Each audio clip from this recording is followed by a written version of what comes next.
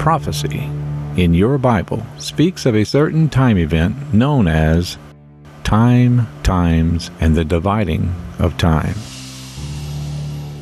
These time, times, and the dividing of times is prophetically known as a seven year peace treaty.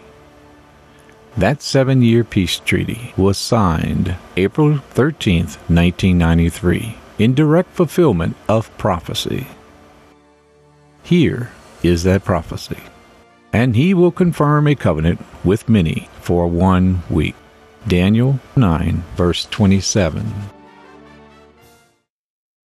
The following information was reported on ABC World News, anchored by Peter Jennings and reported by Jim Bittermann in August 1993.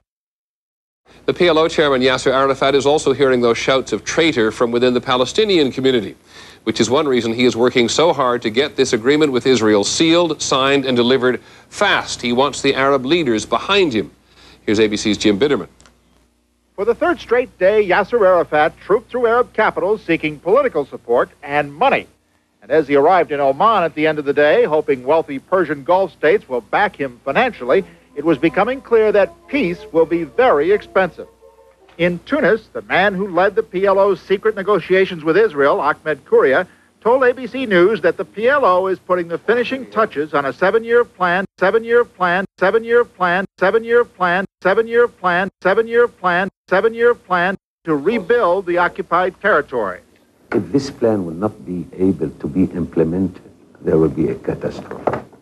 The price tag, Kuria said, nearly $12 billion, a price that he says must be paid to guarantee the peace agreement. This uh, process, this agreement, can't move without a generous, really, support for, to the development in the occupied territories.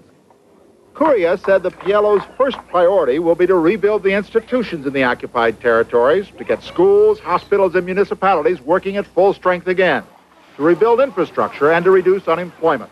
All of it necessary to meet the expectations of average Palestinians to get them behind the PLO and away from more extremist groups. It's an agreement. There will be a ceremony, but what later? The people, what they are expecting something. If it don't come, then will be a problem. But a more immediate problem is the peace agreement itself. Arafat's advisors are saying tonight the next step will be to convene a PLO executive committee meeting here in the next 24 hours, a meeting which must produce official recognition of Israel's right to exist if the peace process is to continue. Jim Bittermann, ABC News, Tunis. This seven year peace treaty was signed and sealed by the late Yitzhak Rabin and Yasser Arafat on behalf of the Israelis and Palestinians on September 13, 1993, just as was spoken by the prophets long ago, for our day known as the last days. But peace would not come yet. Israel Hawkins had a mission, and he met with Ahmed Kuria to present to him the Peaceful Solution Character Education Program so that he might know the way how to achieve true and lasting peace with the Israelis. And he did the same for the Israelis also. What we have seen come to pass is only a small glimpse of what Yahweh has spoken through his holy prophets and why we should believe his prophecies. Yahweh is the only being in the universe who can foretell the future, and his prophecies are true and real and can be relied upon to come to pass. Remember the words of Yeshua Messiah written for our learning in Luke 24 25. O fools and slow of heart to believe all that the prophets have spoken. For more exciting prophecies explained for your salvation, be sure to watch the greatest teacher in the world, Yahweh's Last Days Witness, Israel Hawkins, as he brings forth this and much more on the Prophetic Word program, available on Yahweh Prophetic Television or either website at www.yahweh.com or www.israelhawkins.com.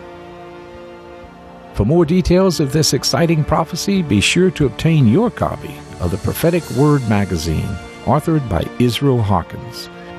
Simply call 1 800 613 9494 or visit our website at www.yahweh.com or write us at the House of Yahweh, P.O. Box 2498, Abilene, Texas 79604.